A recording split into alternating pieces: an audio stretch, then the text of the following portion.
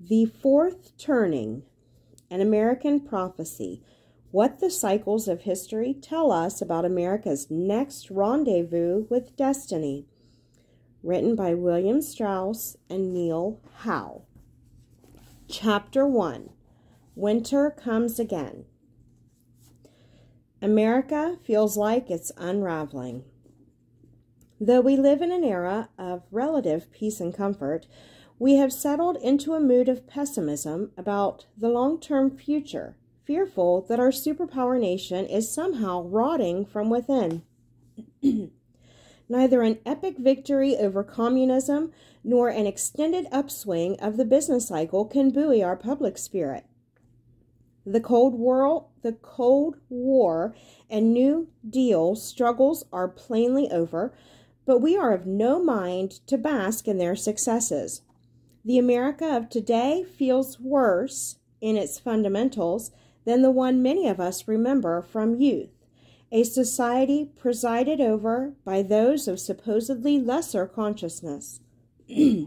Wherever we look, from LA to DC, from Oklahoma City to Sun City, we see paths to a foreboding future. We yearn for civic character, but satisfy ourselves with symbolic gestures and celebrity circuses. We perceive no greatness in our leaders, a new meanness in ourselves. Small wonder that each new election brings a new jolt, its aftermath, a new disappointment. Not long ago, America was more than the sum of its parts. Now it is less. Around World War II, we were proud as a people but modest as individuals. Fewer than two people in ten said yes when asked, Are you a very important person? Today, more than six in ten say yes. Where we once thought ourselves collectively strong, we now regard ourselves as individually entitled. Yet, even while we exalt our own personal growth, we realize that millions of self actualized persons don't add up to an actualized society. Popular trust in virtually every American institution, from businesses and governments to churches and newspapers, keep falling to new lows. Public debts soar, the middle class shrinks, welfare dependencies deepen, and cultural arguments worsen by the year.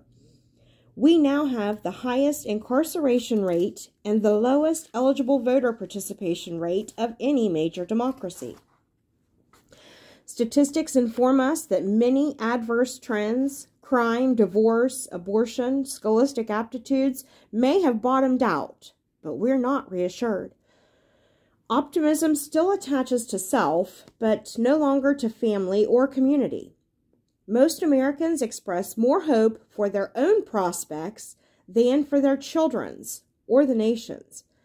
Parents widely fear that the American dream, which was there solidly for their parents and still there barely for them, will not be there for their kids. Young householders are reaching their mid 30s, never having known a time when America seemed to be on the right track. Middle aged people look into their thin savings accounts and slim to none pensions, scoff at an illusory Social Security trust fund, and try not to dwell on what a burden their old age could become. Seniors separate into their own leisure world recoiling at the lost virtue of youth while trying not to think about the future. We perceive our civic challenge as some vast, insoluble Rubik's Cube. Behind each problem lies another problem that must be solved first, and behind that lies yet another, and another ad infinitum. To fix crime, we have to fix the family. But before we do that, we have to fix welfare. And that means fixing our budget, and that means fixing our civic spirit. But we can't do that without fixing moral standards. And that means fixing schools and churches, and that means fixing the inner cities. And that's impossible unless we fix crime. there's no fulcrum on which to rest a policy lever. People of all ages sense that something huge will have to sweep across America before the gloom can be lifted. But that's an awareness we suppress. As a nation, we're in deep denial. While we grope for answers, we wonder if analysis may be crowding out our intuition. Like the anxious patient who takes 17 kinds of medications while poring over his CAT scan, we find it hard to stop and ask, what is the underlying malady really about? How can we best bring the primal forces of nature to our assistance? Isn't there a choice lying somewhere between total control and total despair? Deep down, beneath the tangle of trend lines, we suspect that our history or biology or very humanity must have something simple and important to say to us. But we don't know what it is. If we once did know, we have since forgotten.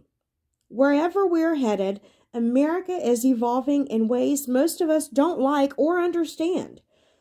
Individually focused, yet collectively adrift, we wonder if we're heading toward a waterfall. Are we?